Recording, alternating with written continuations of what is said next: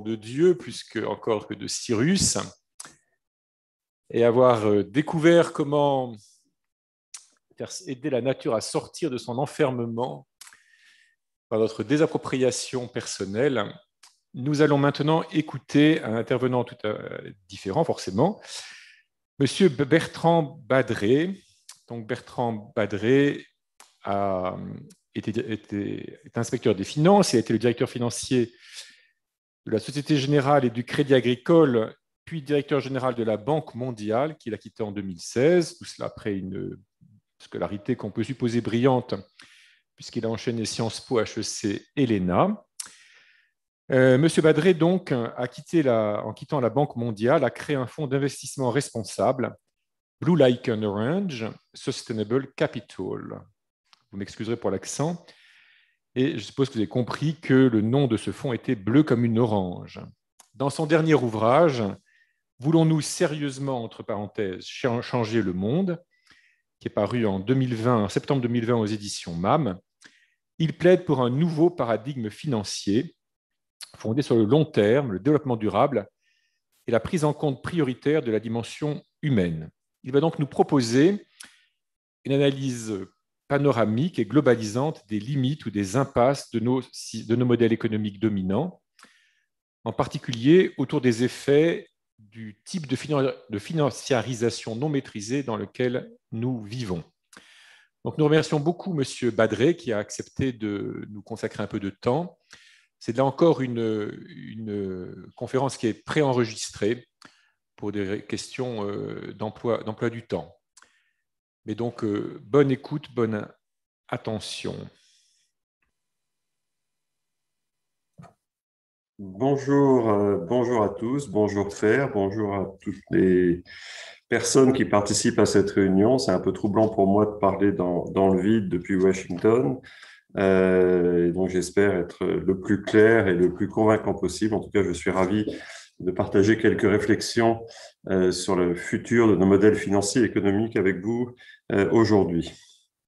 Euh, c'est un moment important, un moment important à la fois dans notre vie d'Église avec les, échos de Laudato aussi, de, de Fratelli Tutti qui continuent à innerver mes réflexions.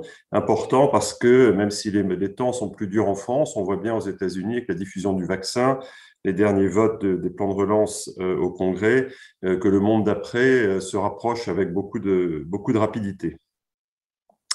ce monde d'après, on ne sait pas encore très bien quelle forme il aura. Michel Houellebecq, de manière provocatrice, avait dit le monde d'après, ce sera le monde d'avant-empire.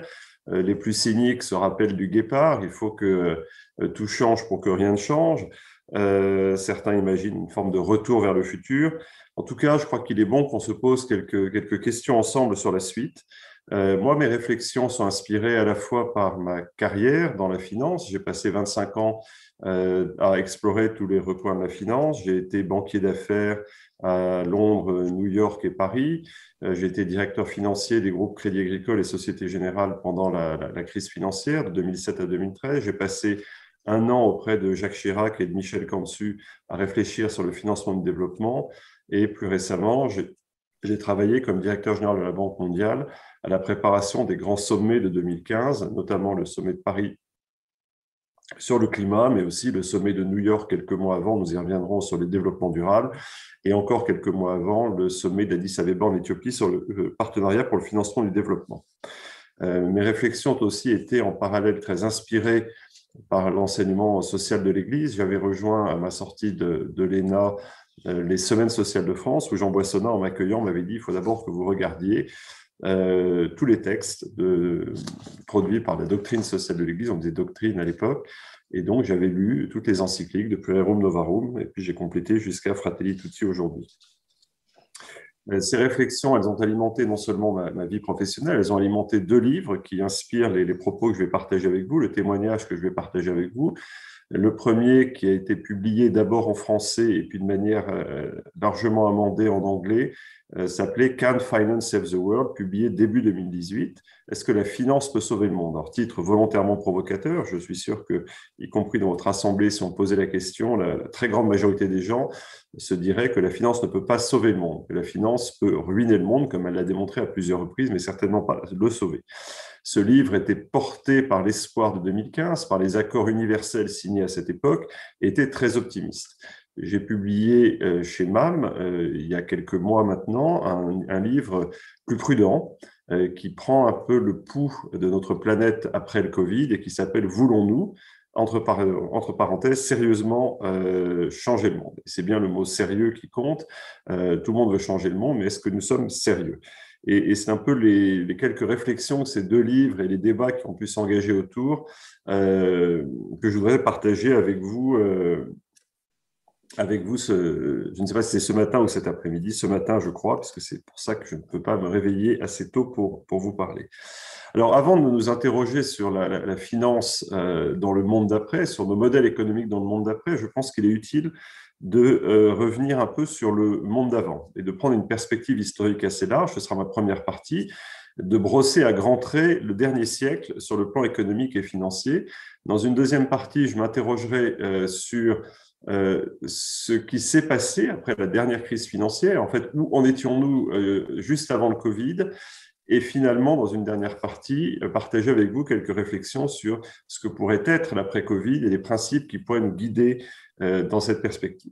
Alors, si on prend un peu de recul, 100 ans, c'est une bonne, bonne distance, 100 ans, ça nous ramène à la conclusion de la Première Guerre mondiale, ça nous ramène euh, au traité de Versailles et à la grippe espagnole. On a un peu oublié la grippe espagnole et c'est malheureusement rappelé à notre souvenir cette année avec le, Covid.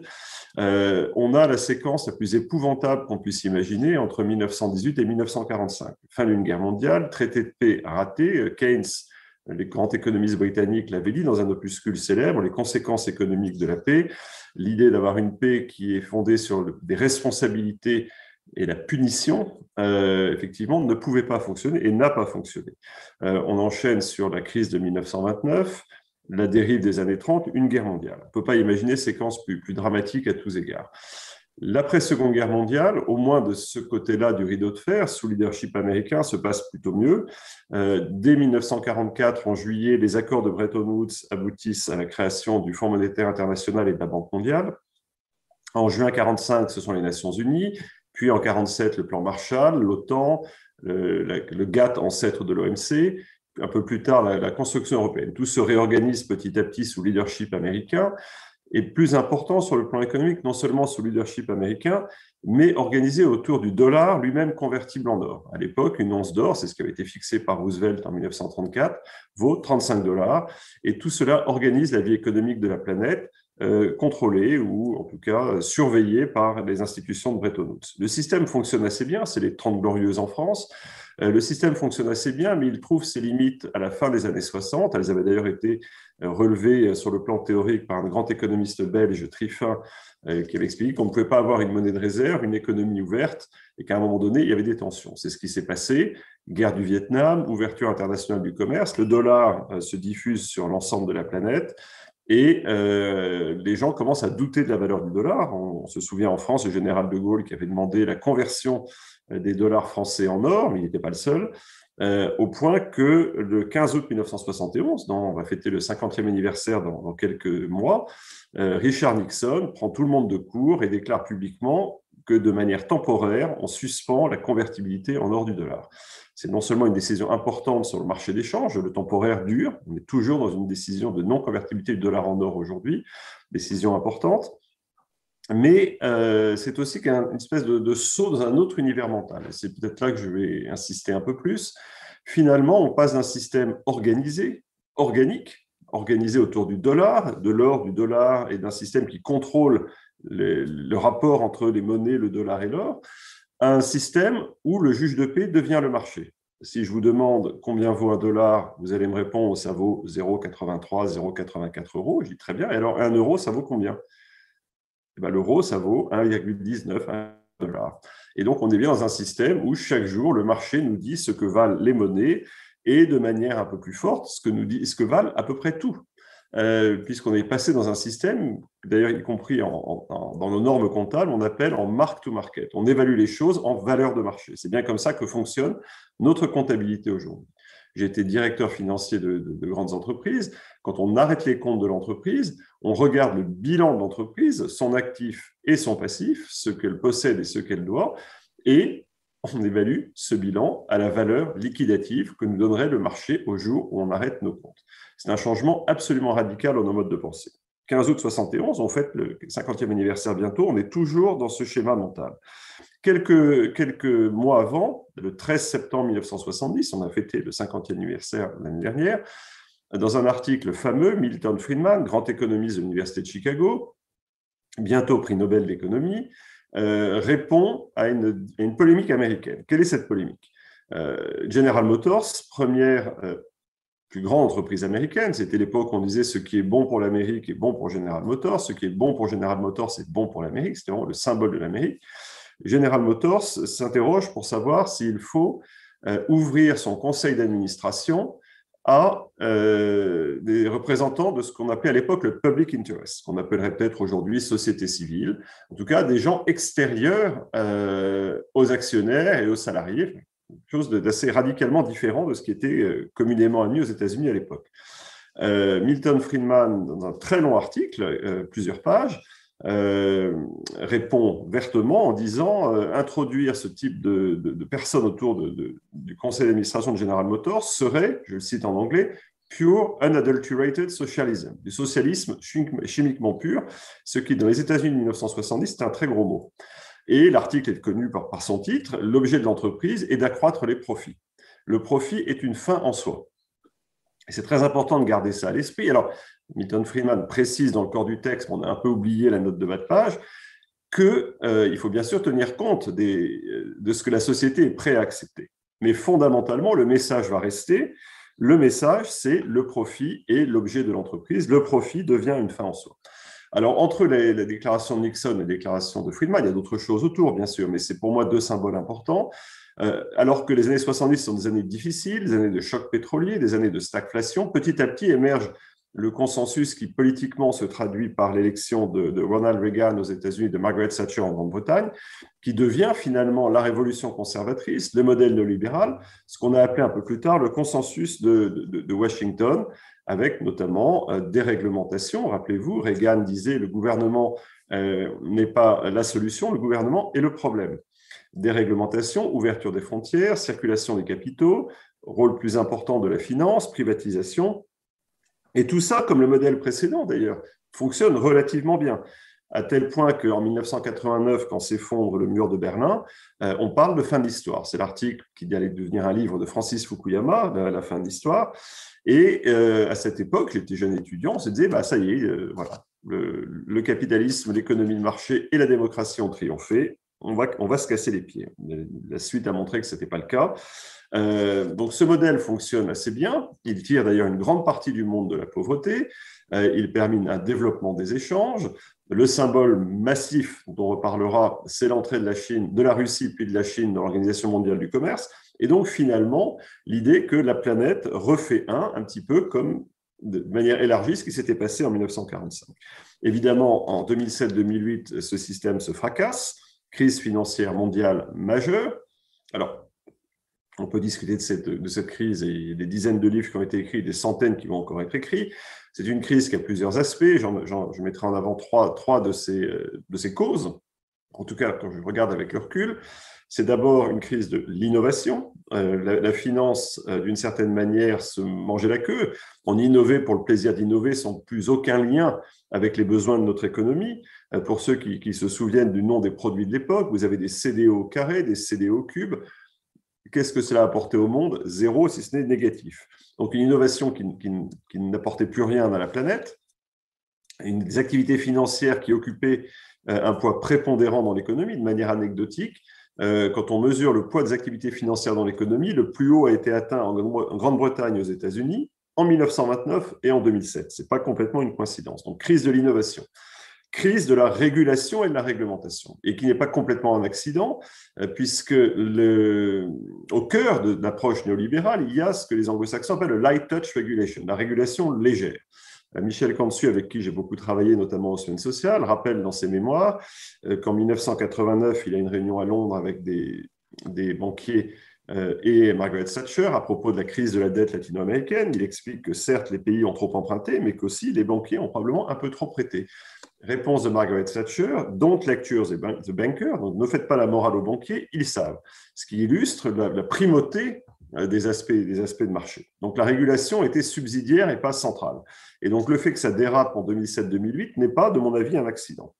Troisième, euh, troisième cause ou troisième facteur de cette crise euh, financière, c'est une crise de la mondialisation. Hein. Michel Albert, avec qui j'ai aussi beaucoup travaillé, certains s'en souviennent aux semaines sociales et ailleurs, euh, parlait de la mondialisation hémiplégique.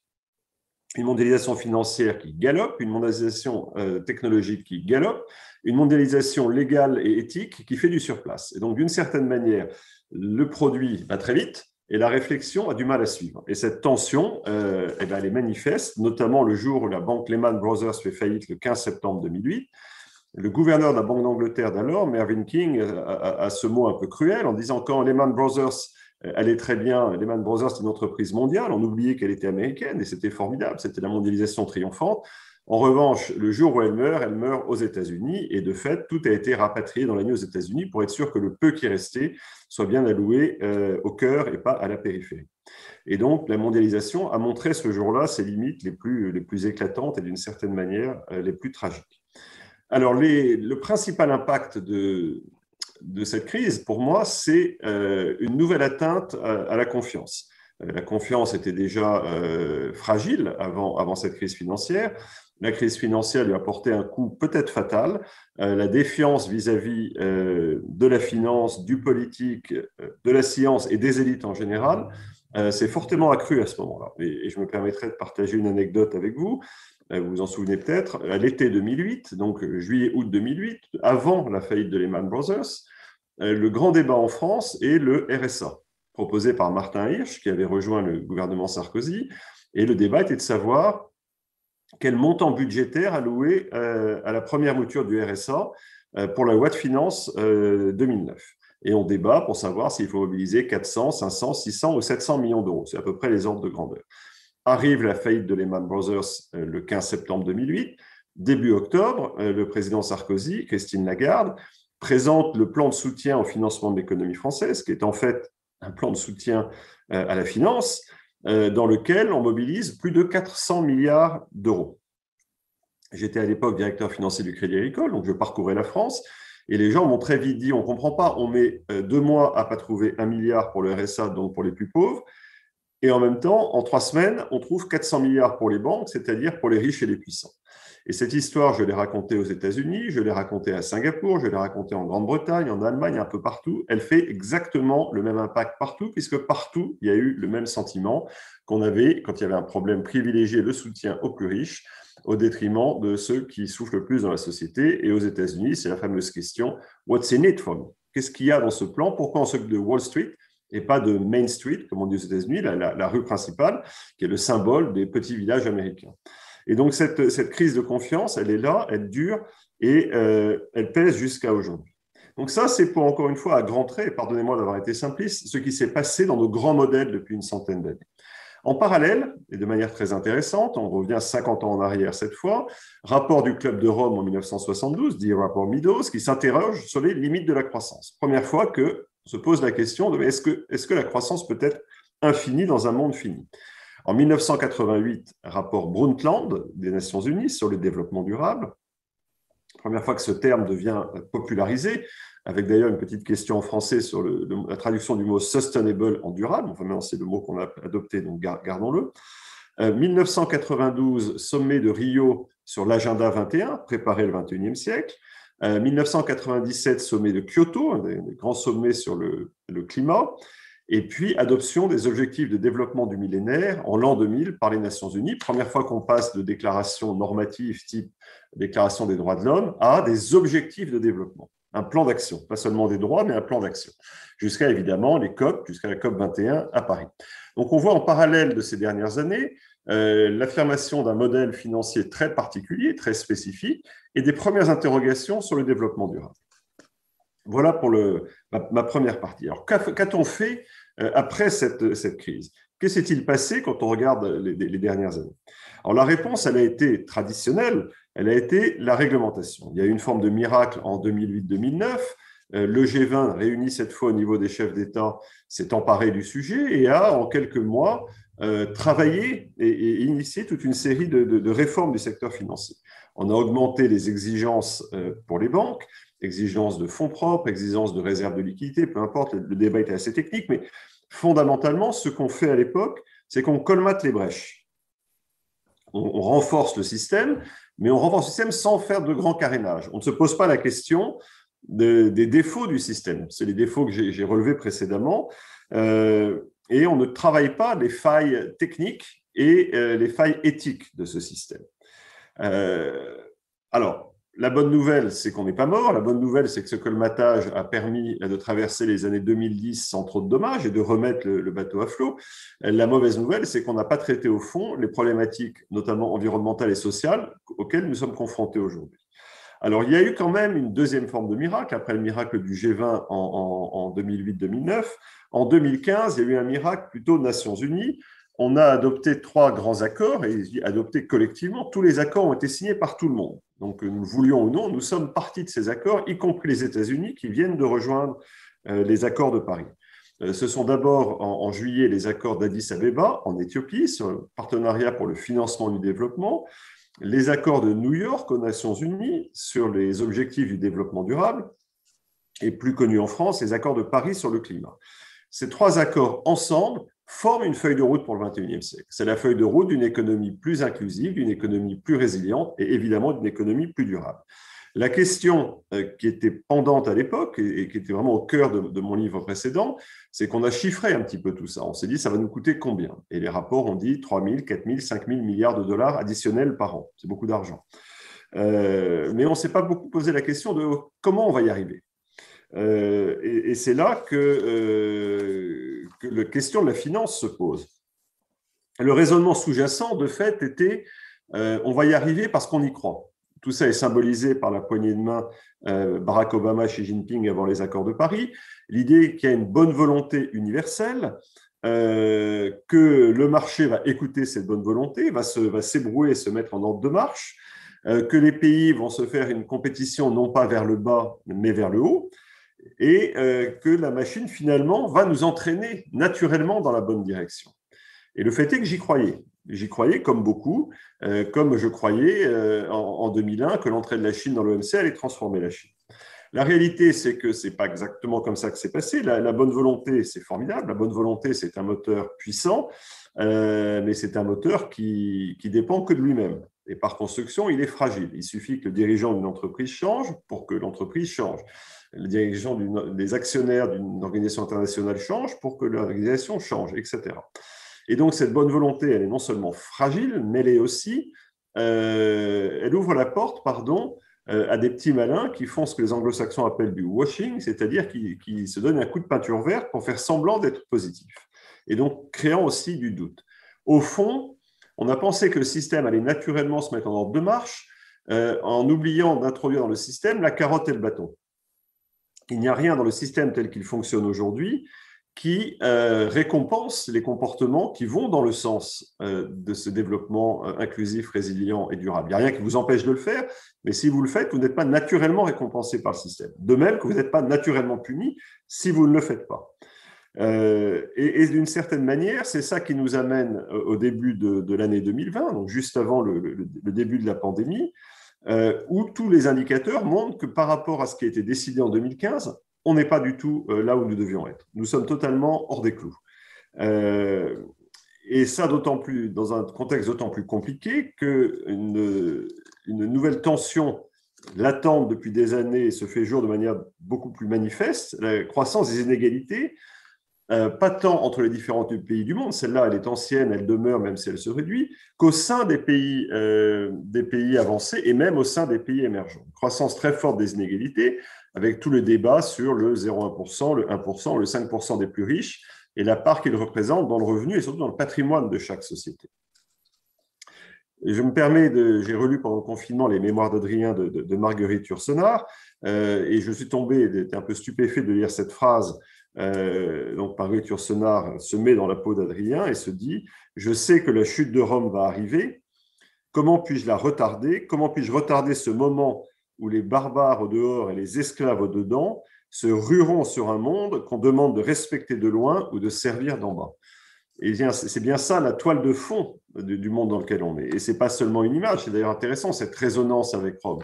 On parle de mur, j'habite aux États-Unis, c'est bien d'un mur qu'il s'agit entre le Mexique et les États-Unis. Euh, quant aux esclaves, évidemment, même l'éditeur avait été gêné que je remette le mot esclave et le mot barbare. C'est des mots de Marguerite Yourcenar, on les a conservés. Euh, les esclaves, on voit bien cette tension sur la partie la plus pauvre de nos sociétés, euh, où, d'une certaine manière, on réfléchit à des sujets comme un, revenu minimum. Je ne veux pas mettre le revenu minimum sur le même plan que le panem et circenses, le pain et les jeux des Romains, mais il y a des analogies assez fortes, et pour se demander si, d'une certaine manière, les réflexions sur la chute de Rome, c'est un sujet récurrent dans l'histoire, ne sont pas particulièrement adaptées au monde d'aujourd'hui. Le Covid, dans tout ça, ou la Covid, euh, n'est pas une crise de la mondialisation en tant que telle, n'est pas une crise du capitalisme. Des pandémies, il y en a eu sur toutes les attitudes et, euh, à toutes les époques. Euh, peut-être que les circonstances économiques font qu'il y a un accroissement du risque, compte tenu notamment des, des, atteintes à la nature et de la proximité renforcée entre animaux et êtres humains, mais en tout cas, ce n'est pas, la conséquence d'un dérèglement du capitalisme immédiat.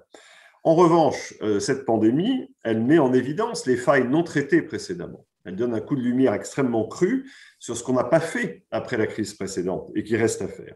Elle souligne ensuite euh, les égoïsmes, les égoïsmes internationaux, ce que j'avais appelé dans mon livre euh, Can Finance Save the World, la relation entre l'Ohio et la Californie. Non pas parce que l'Ohio est un État républicain et la un État démocrate, euh, parce que Ohio euh, veut dire Own House in Order.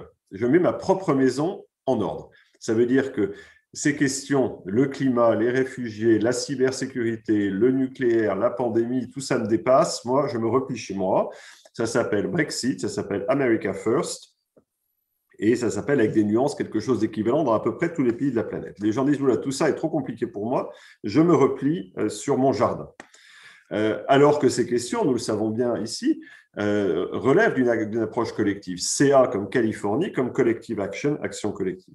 On se retrouve avec une mondialisation sans boussole, un multilatéralisme sur le déclin, on va voir ce qu'en fait Joe Biden, et des égoïsmes renforcés. Et j'en veux pour preuve, euh, il y a un an, au tout début de la pandémie, la Banque mondiale, les Nations unies chiffrent les besoins des pays les plus pauvres en disant qu'il faut qu'on mobilise 2 000 à 3 000 milliards de dollars pour les pays les plus pauvres de la planète. Et euh, que fait le G20 Il propose 10 milliards. Et il a rajouté plusieurs fois cette somme depuis, mais on voit bien que les ordres de grandeur ne sont pas les mêmes. Des milliers de milliards d'un côté, des milliards de l'autre. On a vraiment un chiasme qui n'est pas résolu. Dans le même temps, les pays riches, eux, trouvent les milliers de milliards de dollars. Le dernier plan Biden, 1900 milliards de dollars, et on estime que le, plan américain, les différents plans de soutien américains ont apporté 42 000 milliards de dollars par Américain. Euh, on, voit bien les, ordres de grandeur. Donc, la pandémie non seulement euh, révèle et accentue les, problèmes sous-jacents non traités jusque-là, elle souligne l'égoïsme et par ailleurs, elle accélère un certain nombre de tendances, la transition euh, numérique ou digitale, bien sûr, et surtout la question des inégalités qui sort malheureusement renforcée de tout ça. Inégalité face à la maladie, inégalité économique et inégalité sociale. Et par ailleurs, cette pandémie nous oblige à, reposer un certain nombre de questions posées à la finance. Euh, et ces questions, on, peut faire une très longue liste. Je vais essayer d'en prendre trois euh, qui sont assez simples à comprendre, même quand on n'est pas technicien. La première, vous l'avez entendu, nous avons des taux d'intérêt négatifs. C'est compliqué des taux d'intérêt négatifs. Euh, d'expliquer à mes enfants qu'ils vont me prêter 1 et que je vais leur rendre 0,9, ce n'est pas complètement immédiat comme raisonnement. Et c'est bien ça qui se passe un peu partout sur la planète. Aujourd'hui, on a 13 000, 14 000 ou 15 000 milliards de dollars qui acceptent de perdre de la valeur chaque année. Euh, d'un point de vue théorique, c'est compliqué. On est au tout début du raisonnement. Alors, on explique que c'est peut-être le coût du coffre-fort. Plutôt que d'acheter un coffre-fort et mettre des billets de banque dedans, j'accepte de laisser cet argent à la banque et que la banque me prenne une assurance pour me garder ses dépôts. En tout cas, ce n'est pas extrêmement simple et c'est très contre-intuitif par rapport à tout ce qu'on nous apprend depuis toujours sur les vertus de l'épargne, euh, sur le, rôle de l'investissement, par exemple. Deuxièmement, euh, que penser de toutes ces cryptocurrencies, le Bitcoin? Quel rapport à la monnaie euh, cela signifie-t-il dans nos esprits? Troisième, troisième ordre de question, le rôle des banques centrales. Vous avez vu le débat en France sur faut-il annuler les dettes? Est-ce que l'argent est gratuit? C'est vrai qu'on nous a biberonné pendant des années sur euh, les, 60% de dette sur PIB et de 3% de déficit posés par les règles de Maastricht dans le cadre européen. On voit bien que ces règles sont enfoncées, et probablement d'ailleurs à juste titre, et tout ça crée de l'incertitude et des questionnements. Si vous mettez bout à bout les taux négatifs, euh, les bitcoins et le rôle des banques centrales, vous voyez bien que la finance a quelques questions à se poser sur ses fondamentaux. Le constat, en revanche, demeure.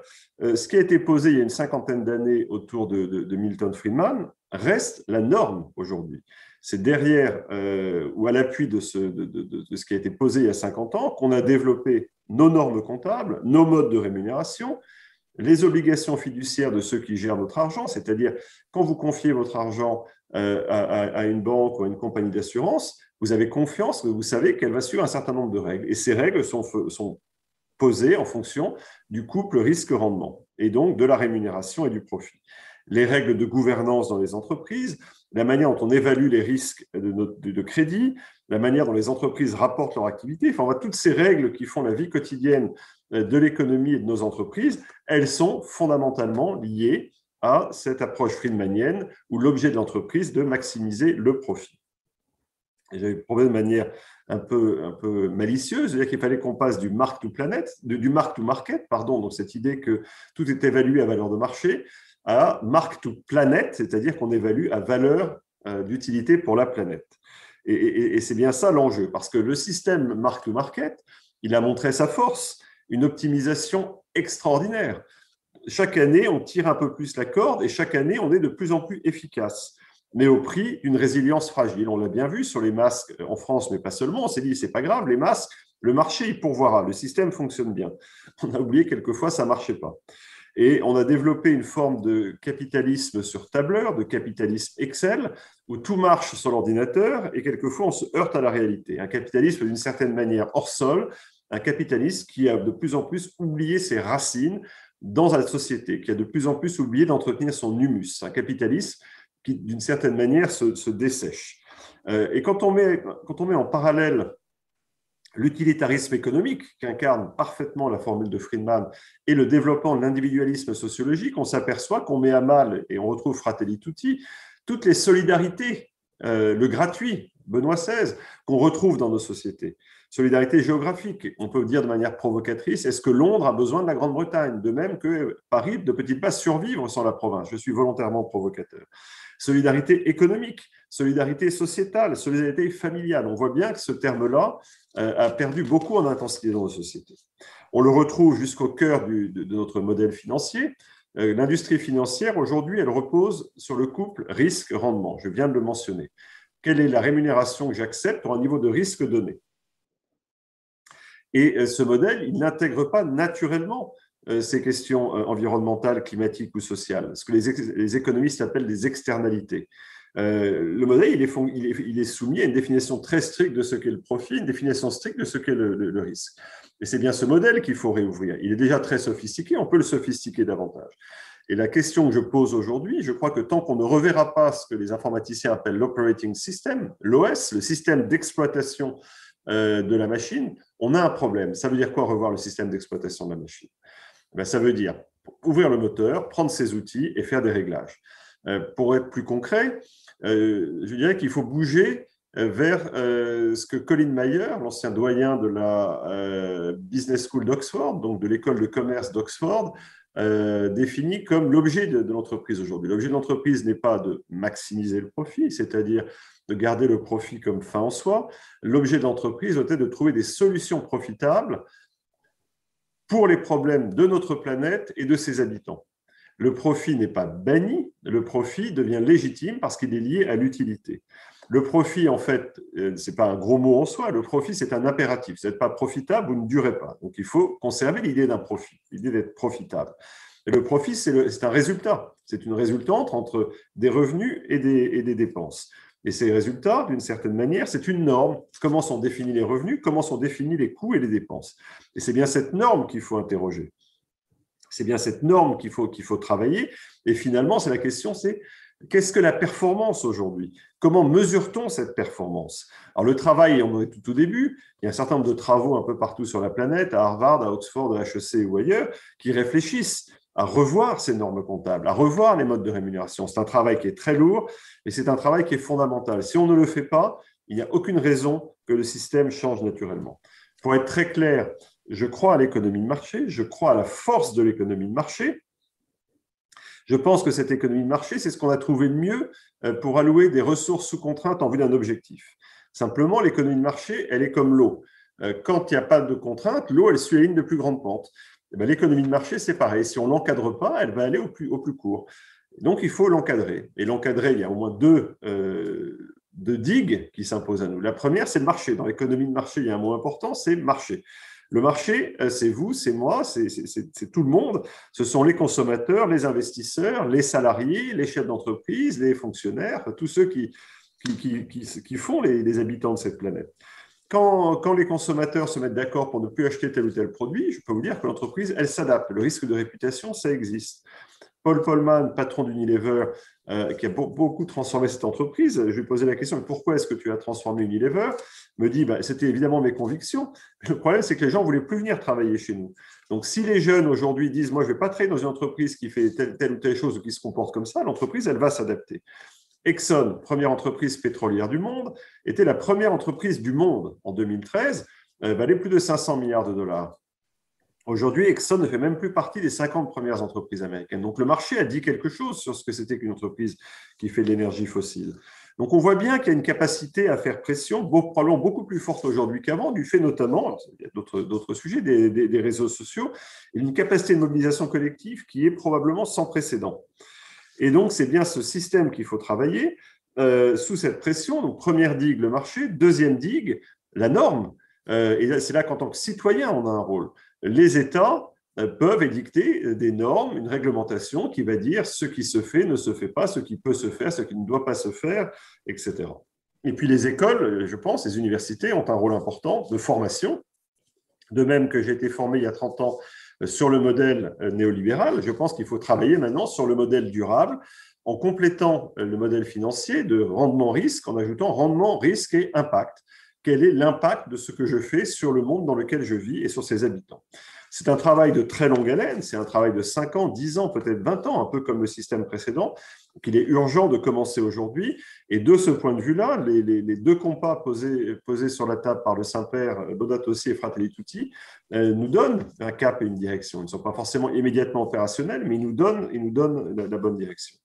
Alors, ce qui est difficile, c'est qu'aujourd'hui, il n'y a pas de maître du monde. Le Saint-Père n'est pas maître du monde. Les États-Unis ne sont plus maîtres du monde qu'en 1945. Les Anglo-Saxons ne sont plus maîtres du monde qu'en 1980. Ils ont d'ailleurs assez peu d'intérêt à l'être. Euh, donc, je crois en, particulier que l'Europe a un rôle clé dans, cette, dans, dans ce domaine. Alors, l'Europe le fait à l'européenne. Elle fait un processus compliqué qui s'appelle la taxonomie, où on classe les activités pour dire celles qui sont bonnes, celles qui sont mauvaises. On émet un certain nombre de directives encore une fois, c'est ce qu'on sait faire, de la norme. Euh, on a un plan de relance, on va vérifier que le plan de relance est bien de la bonne couleur verte, etc. Mais on est en avance et je pense qu'on est plutôt sincère sur ces questions. Il faut encourager cela. Euh, Joe Biden, nouvellement élu aux États-Unis, a lui aussi une approche beaucoup plus engagée sur ces questions-là. Euh, il est par ailleurs supporté par une partie du système économique. Les grandes entreprises, dont vous avez certainement entendu le nom, comme BlackRock, Bloomberg, Standard Poor's, Moody's, etc., qui ont bien compris qu'il y avait du business. Si le marché le demande, autant se mettre sur ce marché.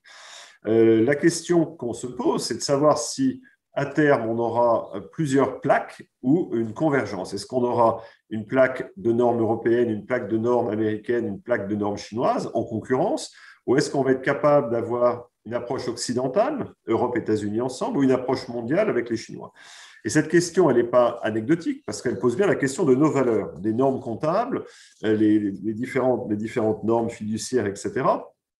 Ça n'est pas que de la technique. C'est sûr que ça peut paraître de loin un peu rébarbatif, pas très facile, etc. Mais ça dit bien le monde dans lequel on veut vivre. ces normes, elles expriment nos valeurs. Et finalement, si je veux être très, très caricatural, mais, mais en même temps, c'est ce que je pense fondamentalement, ces, normes, elles vont, dire, elles vont dire demain ce qui est bien et ce qui est mal. C'est-à-dire que quelqu'un va dire ça c'est bien, ça c'est mal. Et je préfère que ce quelqu'un, ça soit nous qui soyons capables de dire collectivement, bah oui, ça on trouve que c'est bien, ça on trouve que c'est mal, plutôt que d'avoir quelqu'un qui nous l'impose de l'extérieur. Et je suis sérieux quand je dis ça. Vous êtes demain un grand fonds d'investissement du Moyen-Orient qui gère quelques centaines ou milliers de milliards de dollars. Si euh, la norme dit euh, investir dans tel ou tel sujet en Europe, euh, c'est bien ou c'est mal, ça a une application sur nos vies quotidiennes. Donc, il ne faut pas perdre ça de vue. Et pour être encore plus concret, je vais prendre un exemple pratique. Vigéo, dont vous avez peut-être entendu parler, entreprise qui était dirigée par Nicole Nota, a été vendue à Moody's, entreprise américaine. Jusque-là, c'est l'avis du capitaliste, ce n'est pas forcément grave. simplement, Vigéo note les entreprises sur leur performance extra-financière et Vigéo euh, maintenant a changé un peu son questionnaire. Laissez-moi prendre un exemple, ça va vous concrétiser pourquoi on parle bien de valeur et pas de technique. Dans euh, le questionnaire Vigéo Nouvelle Forme, on demande aux entreprises de parler de leur diversité ethnique. Vous savez, comme moi, qu'en France, c'est un sujet qui est interdit. On ne, on ne, classe pas les gens par ethnie ou par race en France, ce qui est complètement le contraire aux États-Unis. Vous voyez bien qu'une entreprise française qui va dire je ne peux pas répondre à cette question, elle va avoir un mauvais point. Et ce n'est pas un mauvais point de son fait, c'est un mauvais point du fait de, des choix que nous avons faits collectivement. Et je peux, je peux poursuivre les exemples sur la représentation des salariés dans les conseils, sur la relation à l'impôt, par exemple. Et donc, on a vraiment cette question qui est, devant nous et, sur laquelle j'espère que l'influence de, l'Église et l'influence du Saint-Père euh, et, des, des, encycliques auxquelles j'ai fait référence pourront nous amener à converger plutôt que nous amener à être en compétition. Alors, pour conclure, je voudrais mettre en avant les, douze principes que j'ai identifiés, hein, le, nombre 12 tombe assez bien, euh, pour euh, réfléchir à la suite et préparer ce travail de fond, euh, de refonte de notre système. Alors, le premier principe, c'est d'être à la fois ambitieux et réaliste. ambitieux parce que si on fait le travail à moitié, c'est ne pas le faire du tout. Il faut vraiment aller jusqu'au bout et transformer, transformer toutes ces normes qui font notre système, mais être réaliste. je suis français, quand, quand je m'exprime, les gens disent ça, c'est des Français, euh, ils veulent euh, la révolution, le grand soir, couper les têtes, abolition des privilèges, etc. ça ne marche pas comme ça dans le monde. Donc, il faut être réaliste. C'est un sujet qui va prendre 10 ou 15 ans. C'est un sujet de travail de fond, un travail de fourmi, et il faut le poursuivre. Deuxième principe, il faut avoir une approche systémique. On ne va pas traiter d'un côté le climat, de l'autre la nature et d'un troisième les inégalités. Je crois fondamentalement que notre santé individuelle a, a partie liée avec la santé de notre économie, a elle-même partie liée avec la santé de notre planète. Et là aussi, c'est bien l'ensemble du système qu'il faut, qu'il faut appréhender et pas prendre petit bout par petit bout pour se rassurer. Troisièmement, il ne faut pas abandonner le principe de l'optimisation. C'est la force de l'économie de marché. On a vu l'alternative soviétique, ça n'a pas très bien fonctionné. Simplement, cette optimisation, il faut la faire au mieux, pas à tout prix. C'est-à-dire intégrer dans l'optimisation l'idée de résilience, développer des racines. Quatrièmement, je crois fondamental de développer à grande échelle des partenariats publics et privés. Aucun des objectifs du développement durable, la lutte contre le changement climatique, rien ne sera fait par le seul secteur public, rien ne sera fait par le seul secteur privé. Et la question se pose avec encore plus d'acuité compte tenu du, rôle et de la place qu'ont pris les États dans la lutte contre la pandémie. Quel équilibre va-t-on trouver? Comment va-t-on pouvoir euh, prendre appui sur les forces des uns et des autres en évitant les suspicions des uns vis à -vis des autres? Cinquièmement, euh, prendre acte de la transformation digitale. Elle ouvre des horizons presque infinis, un peu terrifiants. Je crois que la transformation digitale, comme la, finance, sont deux forces euh, qui, créent des, relations très ambivalentes. D'un côté, on voit bien que finance et technologie et science sont les forces qui vont nous amener à l'étape d'après, et en même temps, on est un peu effrayé de la puissance des forces qui sont libérées. Et donc là aussi, c'est un peu, euh, si vous me permettez cette, cette comparaison pas, très étayée avec la tour de Babel, je dis souvent qu'il y a deux langages universels aujourd'hui, le langage binaire 1 0 0 0 1 1 0, euh, langage technologique, et puis le langage du billet vert. Ce sont les deux langages universels qui nous poussent à croire qu'on peut faire monter la tour de Babel jusqu'au ciel. Méfions-nous de la fin, comme vous le savez infiniment mieux que moi. Sixième principe, se rappeler encore et toujours que l'économie et la finance doivent être au service de l'homme et pas l'inverse. Ça paraît évident, mais c'est bon de le, rappeler. Et en particulier, gardons à l'esprit qu'il faut préserver impérativement la force de nos classes moyennes. Les classes moyennes, c'est la quille de nos sociétés démocratiques avancées, c'est la quille de nos économies. Évitons de partir de cette société en sablier où on a en haut une élite très, très à l'aise et très fortunée, une classe moyenne épuisée et une base très large et pauvre. Septièmement, et là on retrouve le message de Fratelli Tutti, euh, la fraternité est au cœur de tout ça. Alors, quand, euh, on n'est pas la transcendance, on peut appeler ça la solidarité. Euh, je crois que vraiment, entre liberté et égalité, la, fraternité est plus que jamais le, moteur de résolution à un certain nombre de ces tensions. Et donc, il faut travailler sur ce sujet-là. Nous sommes embarqués sur le même bateau. On n'est pas forcément dans la même classe, mais travaillons à faire monter tout le monde sur le pont. Huitièmement, je ne crois pas qu'il y aura de valorisation sans valeur. On ne valorisera pas une entreprise si on ne prend pas en compte ses valeurs, d'une part, et le respect de ses valeurs, d'autre part. Je crois que l'intégrité et la sincérité euh, seront extrêmement euh, importantes. On ne fait pas partie d'un système, euh, je dirais, en passager clandestin. On est un acteur ouvert, un acteur responsable d'un système. Et je vais permettre de partager une autre anecdote. Il y a une douzaine d'années, donc avant la faillite de Lehman Brothers, nous organisions avec l'Institut Montaigne à Paris un colloque sur la crise dite du subprime, avec notamment, il y avait Jean Tirole depuis prix Nobel d'économie, mais, mais, surtout Paul Volcker. Paul Volcker été l'ancien président de la Réserve fédérale américaine, rappelé par Obama quelques mois plus tard pour réglementer la finance. Paul Volcker, euh, parmi, parmi ces personnes que les Américains appellent larger than life, y compris physiquement, plus de deux mètres, grande figure, grand serviteur de l'État aux États-Unis, euh, questionné par la salle, qui lui dit Monsieur Volcker, vous êtes très dur avec les banquiers de Wall Street, vous nous accusez, mais euh, vous oubliez qu'on est dans un système et que les règles du jeu sont ce qu'elles sont et qu'on n'y peut rien. Et Paul Volcker leur répond Vous êtes parmi les plus diplômés de la planète, vous êtes parmi les mieux payés de la planète. Je n'accepte pas plus en 2008 qu'en 1945 l'excuse de Nuremberg. Vous ne pouvez pas prétendre que vous ne savez pas ce que vous faites, que vous ne comprenez pas le système dans lequel vous évoluez. Et donc là aussi, je pense que c'est très important de garder ça à l'esprit. Neuvième principe, éviter une approche euh, souverainiste et défensive. Là aussi, il faut faire très attention à ce que le repli sur soi, l'Ohio dont je parlais tout à l'heure, ne se traduise pas euh, par euh, être donneur de leçons. L'économie résiliente, durable et inclusive, elle, ne sera résiliente, durable et inclusive que si tout le monde est à bord. Ce n'est pas une leçon que les bobos d'Europe et des États-Unis donnent au reste du monde. Il faut qu'on leur tende la main et qu'on discute. Et c'est très important. sinon, on aura à l'échelle de la planète ce qu'on a connu en France avec les Gilets jaunes. Donc, soyons inclusifs et pas défensifs ou protecteurs. Dixièmement, c'est compliqué, plus facile à dire qu'à faire, développer une culture du mieux et pas une culture du plus. Et, là, il faut s'interroger sur nos instruments de mesure de manière très intéressante. On a, on a deux grands systèmes de mesure, la comptabilité publique et la comptabilité privée. Et ces deux systèmes sont nés de la crise de 29. Euh, quand Keynes a écrit la théorie générale, le PNB n'existait pas. Il y avait ce qu'on appelait la demande agrégée, la, demande du gouvernement, et on a développé à partir de là la comptabilité nationale, les concepts de PNB, de valeur ajoutée, etc., qui sont très familiers aujourd'hui, à tel point que tout le monde en parle et qu'on ne sait plus très bien ce que c'est. Interrogez-vous au fond de vous-même, est-ce que vous connaissez le PNB mondial? Est-ce que vous connaissez le PNB français? Est-ce que vous savez à quoi correspond un taux de croissance de 3%, 5% On en a fait un peu des fétiches, mais on a oublié ce que ça veut dire. Alors, pour vous donner une indication, le PNB mondial, il a un peu baissé avec la pandémie, il est de l'ordre de 10 euh, 000 milliards de dollars. Euh, le PNB français, il est de l'ordre de 2 500 à 3 000 milliards de dollars. Encore une fois, un peu moins avec la pandémie. Voilà, mais souvent on oublie. Et donc ce PNB, Nicolas Sarkozy en 2008 avait suggéré qu'on le révise. Il y avait une commission pilotée par Joe Stiglitz, Amartya Sen et Jean-Paul Fitoussi. Très bon, très bon rapport, qui malheureusement n'a pas eu de suite. Il y avait une intuition forte. On travaille sur ce qu'on mesure. Est-ce qu'on mesure de la bonne manière les bonnes choses? C'est peut-être le moment de se poser cette question aujourd'hui. Pareil pour la comptabilité privée.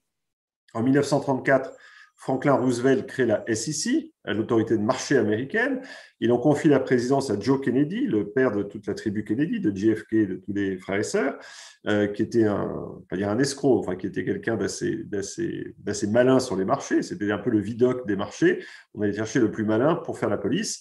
Et une des premières euh, choses que fait euh, Joe Kennedy, président de la SEC, c'est d'obliger une harmonisation comptable.